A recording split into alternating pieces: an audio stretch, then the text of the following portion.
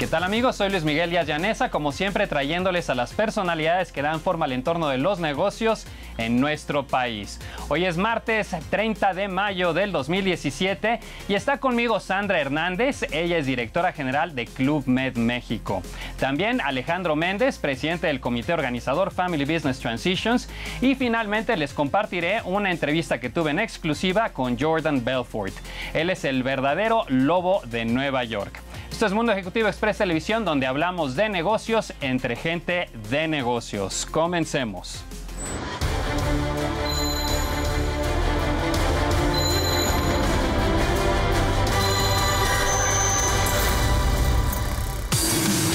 La entrevista. ¿Qué tal amigos? Está conmigo Sandra Hernández Sánchez. Ella es directora general de Club Med México. Sandra, bienvenida. Muchas gracias Luis Miguel por esta gran invitación y bueno, felices de estar esta noche con ustedes compartiendo todas las noticias que Club Med tiene. A todo dar. Oye, ay, perdón. Ese entusiasmo que tú proyectas es el entusiasmo que siempre proyecta Club Med. Un lugar donde la gente va a pasar un buen rato, a divertirse, a descansar, etcétera. Definitivamente, bueno, pues nosotros hace más de 60 años empezamos con este concepto que está increíble y efectivamente va muy enfocado a esa felicidad, a esa pasión. Un cliente que llega a nuestros hoteles desde el inicio hasta el fin realmente se va a sentir feliz. ¿Por qué? Porque lo ayudamos a que se desconecte de su día a día y se pueda reconectar tanto con su persona, con su familia y como con esa tranquilidad de disfrutar nuestros hoteles, Luis Miguel. A todo dar. Y acabas de mencionar algo muy importante, a reconectar con su familia los que ya somos un poquito más avanzados de edad, nos acordamos que el concepto original de Club Med era un concepto muy dirigido hacia solteros, donde ibas a pasártela a, a todo dar, etcétera, y demás, ¿no? Pero que a final de cuentas le han dado un, una renovación a todo el concepto y ahora lo han dirigido mucho a familias, por supuesto, con sus áreas privativas para la gente mayor o la gente adulta que quiera descansar y no escuchar ruido de niños, lo que sea, pero un concepto muy, muy renovado y que entonces incluye a las familias. Definitivamente, hace 13 años Club Med decide darle un giro por completo para que realmente la gente pueda conectarse con las familias. Finalmente, el valor o los pilares siguen siendo esa unión familiar. Entonces, Club Med, sin perder, esa esencia que tiene de poder generar esta felicidad y esta diversión con la gente, ¿por qué no hacerlo ahora todos juntos? Uh -huh. Y qué importante, aquellos jóvenes que fueron en esa época en donde Club Med era diversión para solteros y para adultos, ahora son padres de familia. Uh -huh. Entonces, esos padres de familia que vivieron el Club Med de antes, están viviendo el Club Med de ahora, pero con sus chiquitines. Uh -huh. Y algo súper importante de nuestra marca, hace precisamente 47 años nosotros fuimos los creadores de los clubes de niños. Okay. Y algo muy importante es que los clubes de niños en todos nuestros hoteles están segmentados. Es decir, no van a mezclar pequeños o bebés con ya adolescentes. ¿Por qué? Número uno, los intereses son completamente diferentes. Los GIOS, que son la esencia de nuestro producto, son especializados dependiendo de la edad. Uh -huh. Y los que, las actividades que les ponemos a cada uno de los segmentos de estos niños van muy enfocados para despertar ciertos intereses, ciertos gustos y ciertas necesidades. Uh -huh. Entonces, el que este concepto esté enfocado hoy por hoy para familias, es también para decirle a la gente que los chiquitines van a disfrutar sus vacaciones como únicas, uh -huh. pero también los padres van a poder gozar, descansar y desconectarse un poquito de la rutina diaria cuidando a nuestros hijos. Por supuesto, mencionaste los GOs, que para que la gente sepa es una viene el francés, es gentil organisateur, uh -huh. o en español gentiles organizadores, y que son los responsables de estar con la gente y ayudarles a pasar un buen rato, que todo el mundo se le esté pasando bien y demás, ¿no? Un concepto que crearon desde 1950, postguerra, que justamente pues cuando había, el mundo todavía estaba como que un poquito deprimido, ¿no? Después de todo lo que se había vivido. Entonces, dos franceses que deciden, oye, vamos a, hacer un concepto donde podamos pasarla bien, ¿no? Y de ahí nace todo lo que es Club Med hoy, que ahora ya tienen sesenta y tantas propiedades alrededor del mundo. Así es, son Ajá. 68 hoteles alrededor del mundo uh -huh. y principalmente estamos ubicados en todos los continentes continentes del mundo. Ok, presencia en México desde hace 40 años y que siguen teniendo dos joyas aquí en México, una en Cancún y otra en Ixtapa. Así es, bueno, ¿qué puedo decir? Cancún, el primer hotel realmente que estuvo en este maravilloso paraíso del Caribe mexicano. Este, este hotel inició en 1976 con más de 376 habitaciones. Y bueno, otra vez es ofrecer este concepto que Club Med ofrece, el ADN que tiene de felicidad, pero adaptado a la cultura mexicana, ¿no? Desde que llegas al hotel, toda la infraestructura y la arquitectura del hotel es 100% mexicana para que tanto nuestros huéspedes nacionales, así como los huéspedes internacionales, pues realmente puedan seguir sintiendo esa esencia de nuestro bellísimo país. Y en Ixtapa estamos ubicados en Playa Quieta, también con más de 300 habitaciones y también tiene un concepto completamente de, de hacienda, pero repito, no sin olvidar pues todo lo que une a Club Med, que es esa esencia y ese ADN de camaradería, de felicidad y de ilusión mientras estás disfrutando de tus vacaciones. A todo dar, Sandra. Tenemos que ir a un corte, pero al regresar me, gusta que, me gustaría que me comuniques un poco más acerca de la esencia de Club Med. Claro que sí, Luis Miguel. Amigos, estoy platicando con Sandra Hernández Sánchez. Ella es directora general de Club Med México. Vamos a un corte y regreso en dos minutos. La entrevista. Amigos, bienvenidos de vuelta. Sigo platicando con Sandra Hernández. Ella es directora general de Club Med México. Sandra, antes de ir al corte, te empezaba ya a preguntar acerca de la esencia de lo que es Club Med. Ustedes son quienes introdujeron el concepto All Inclusive.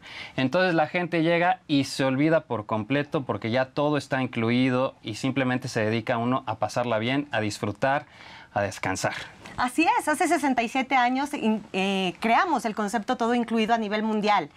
Y el todo incluido efectivamente es todo incluido, porque tenemos desde los paquetes que ofrecemos toda la transportación aérea, okay. el alojamiento en nuestros hoteles, los transfers del aeropuerto al hotel y viceversa, pero aparte de todo esto, todo lo que vives en el hotel, como son todos los alimentos, todas las bebidas y más allá también, tenemos más de 40 actividades que puedes disfrutar en nuestros hoteles en cada uno de ellos. Y va desde lo más esencial como pueden ser aquaerobics o aerobics, pero también ofrecemos yoga, meditación, clases de zumba, lo que el huésped imagina como unas vacaciones inolvidables créeme que en Club Med lo van a vivir. Y además tienen todos los juguetes, jet skis, veleros, este, paddleboards. Exactamente. Y esto qué bueno que lo mencionas porque es algo muy importante.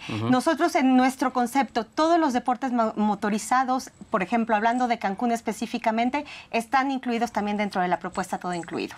Entonces es eso, te olvidas, haces maleta, llegas al aeropuerto y es lo único que tienes que hacer. Y despreocupar, despreocuparte de todo. Y además son más de 14 mil GOs de más de 100 este, nacionalidades que son las que están apoyando a todo el mundo. Entonces no, tampoco te vas a preocupar de que si llegas a un lugar donde igual y no hablas el idioma, no te preocupes, va a haber alguien que va a hablar español o inglés o algo que tú entiendas contigo. ¿Estás de acuerdo? Definitivamente. Y eso es también lo que está increíble del concepto, el intercambio de la cultura, ¿no? Siendo un concepto multicultural que realmente pues vas a estar disfrutando posiblemente de una rica bebida en la playa y se va a acercar una persona de Italia y vas a empezar a platicar contigo porque los GIOs no necesariamente son nada más los empleados de Club Med, sino son tus compañeros de viaje desde que llegas al hotel, durante el recorrido en el hotel que te asesoran qué hacer, qué no hacer, dependiendo de lo que tú estés buscando, hasta el final realmente se vuelven tus compañeros, tus amigos, tus asesores y tus cómplices en ocasiones. Por supuesto. Y además de este eh, nuevo enfoque familiar, también un enfoque ecológico y 73% de las propiedades ya están certificadas por Green Globe.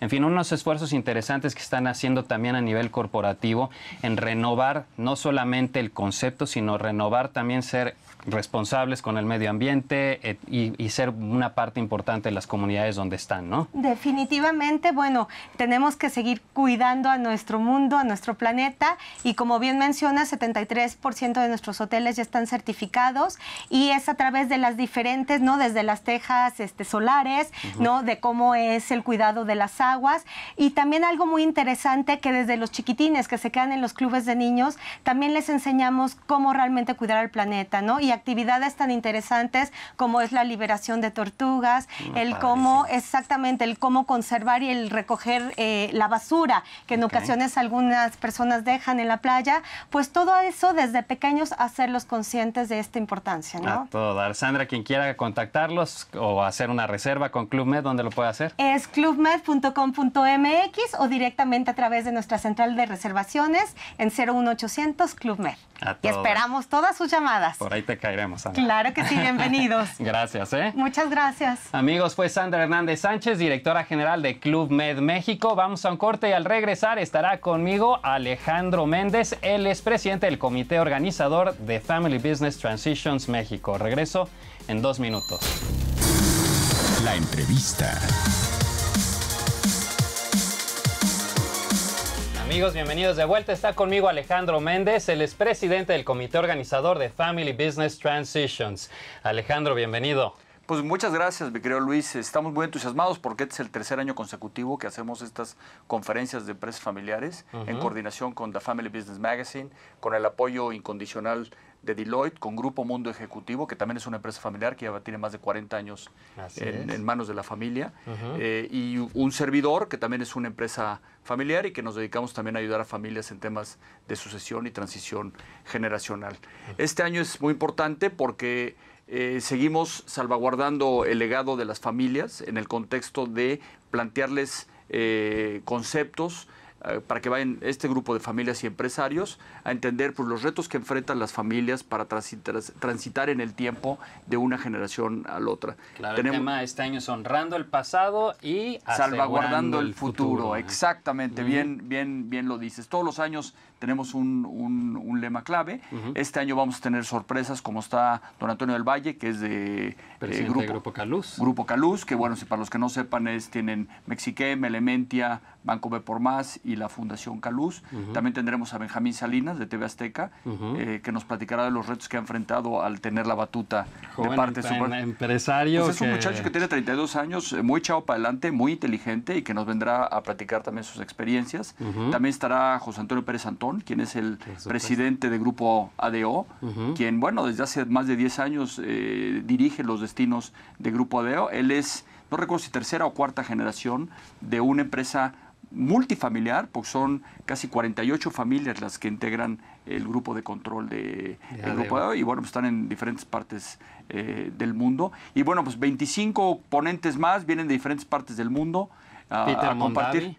Peter Mondavi de los Ajá. vinos Mondavi, tercera generación. Eh, y no nada más eso, me pidió que pudiera venir su esposa y sus dos hijos a estar presentes en la conferencia. Y bueno, pues tendremos oportunidad de también platicar eh, con ellos. Viene Oscar Cáceres de Grupo Industrial eh, Casel, que viene junto con su hijo a compartir también cómo los retos que enfrentan papá e hijo trabajando juntos en diferentes planos. Vienen los hermanos Pereda, que son codirectores generales del Grupo Anforama, también a, a, este, a compartir. También Estará Patrick y Michael Devlin. Patrick y Michael Devlin en diferentes eh, paneles, en diferentes roles. Ambos son directores generales. eh, eh, son tercera generación de Devlin, ya Devlin tiene más de Collins. 70 años. Entonces, la verdad es que para aquellos que estén enfrentando o, o quisieran saber pues cómo estas familias han enfrentado los retos, cuáles han sido los eh, topes en el camino que se han encontrado y cómo los han enfrentado, pues es una buena experiencia para compartir en, en este tema. Oye Alejandro, además como todos los años en un ambiente pues mucho de confianza, donde verdaderamente es un cerrado, solamente están las familias, se puede platicar, se puede hablar, nadie le está tratando de hacer ventas ni nada, es un entorno para verdaderamente platicar acerca de la familia, cómo hacer las transiciones, cómo preservar el legado de la familia e inclusive este año lo que estás introduciendo es que también tienen la posibilidad de tener una asesoría un taller de trabajo la familia con un experto que los ayude a hacer un taller pues de cómo van las cosas en la familia, ¿no? Lo que tú eh, mencionas es muy importante. O sea, los temas son sensibles. La apertura es total por parte de los ponentes.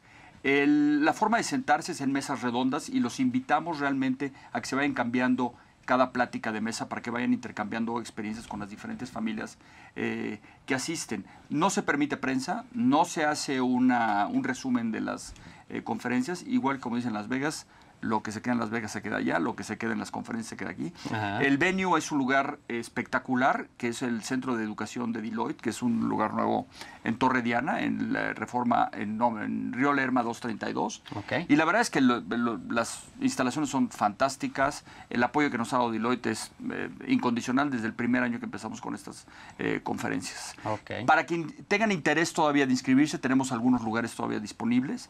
Eh, a través de Grupo Mundo Ejecutivo tienen un 20% de descuento en la inscripción, que incluye todo, alimentos, inter- interpretación simultánea, todas las presentaciones se les van a dar eh, durante las conferencias para que tengan un, un, digamos que, carpeta de trabajo al respecto. Y toda la información la tiene en nuestra página de internet, que es www.transitionsmexico.com. Ok.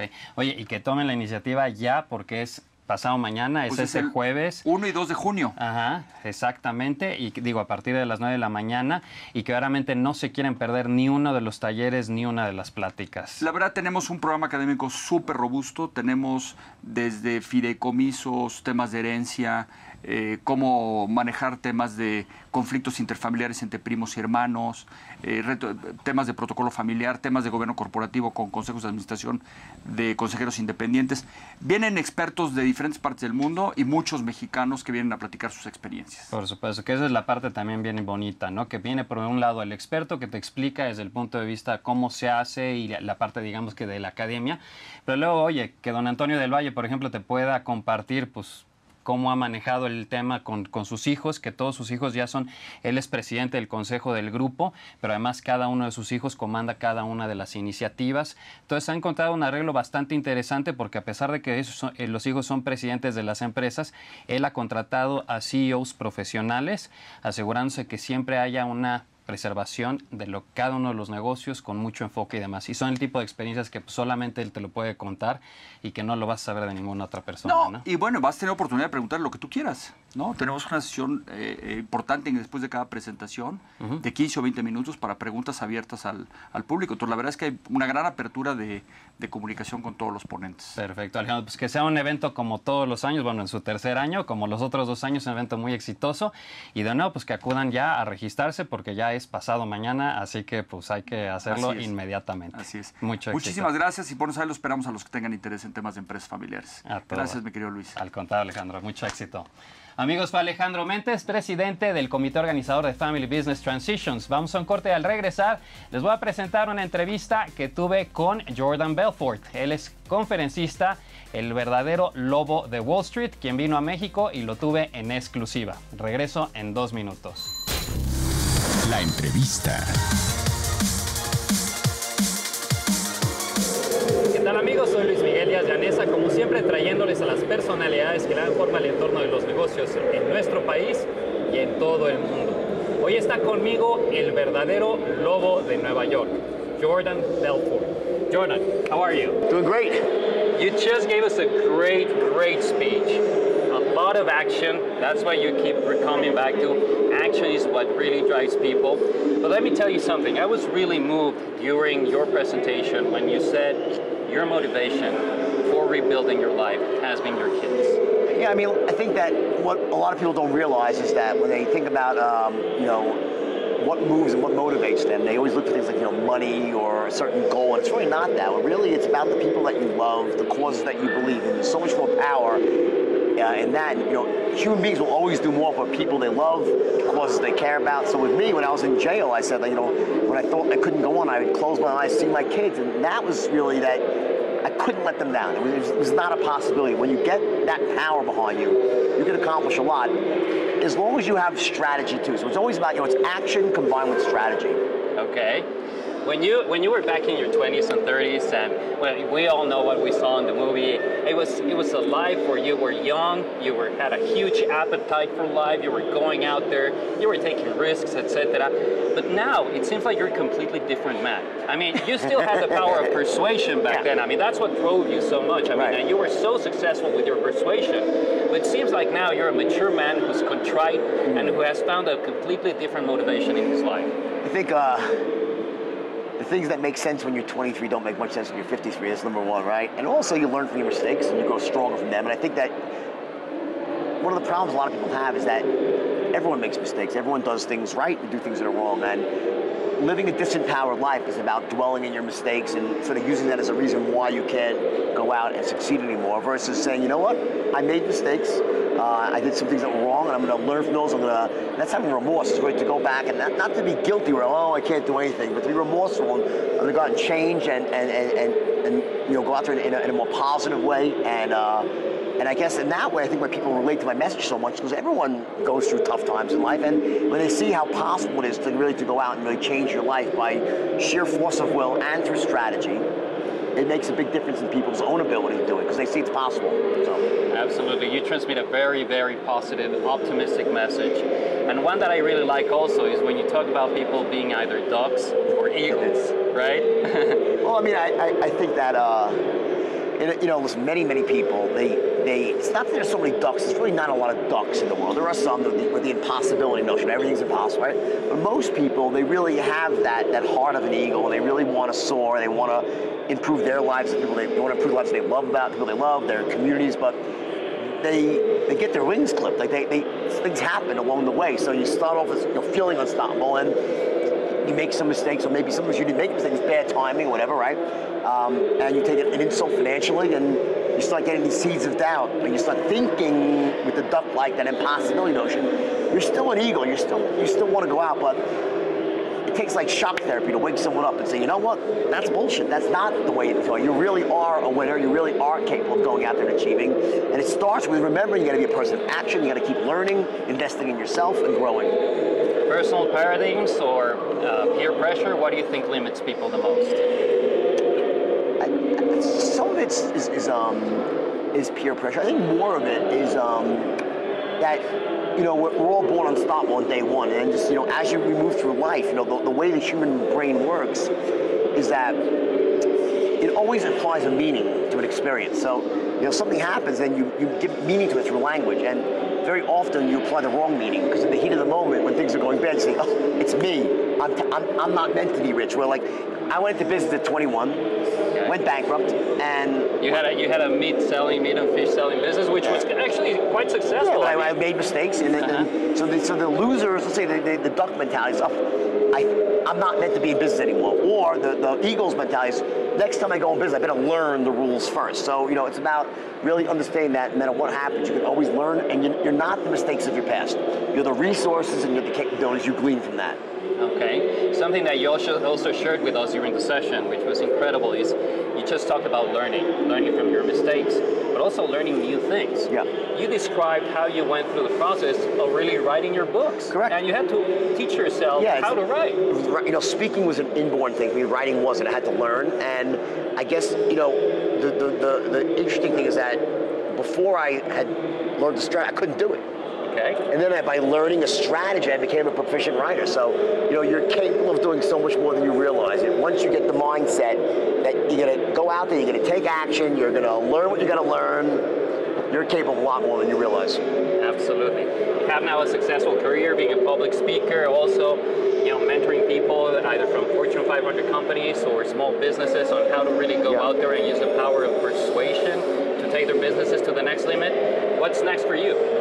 Good question. Well, you know, listen, my life is great. I got a, um, my kids are all healthy. My career is going great. So, I mean, I'm working on some different companies right now, but uh, really, for me, it's about more of the same for the next couple of years. Uh, going out and empowering people, and um, and I'll figure out that I'll, I'll, know what happens next when it happens. Okay. All right. Do you have any last thoughts or comments? Just listen. I just think that you know, in a, a country like Mexico is a great country, and you know, a lot of educated people, and I just I think sometimes uh, there's one thing that people need to realize is that you are capable of greatness. Every human being is. It's just it's a, it's a false belief that you think that you have to be that you're like I'm just worthy of this. You're not. You know, it's really a mindset issue of getting yourself out of the box and start realizing you're capable of so much more. Absolutely. All right. Jordan, thank you so much. Amigos, fue Jordan Belfort, el verdadero lobo de Nueva York. Muchas gracias por acompañarme y recuerden que para el éxito no hay que trabajar mucho, hay que trabajar inteligentemente. Que la pasen bien. Pues amigos, esa fue la exclusiva que me dio Jordan Belfort en su conferencia El verdadero lobo de Nueva York. Eso fue Mundo Ejecutivo Express Televisión donde hablamos de negocios entre gente de negocios. Muchas gracias por acompañarme y recuerden que para el éxito no hay que trabajar mucho, hay que trabajar inteligentemente. Que la pasen bien.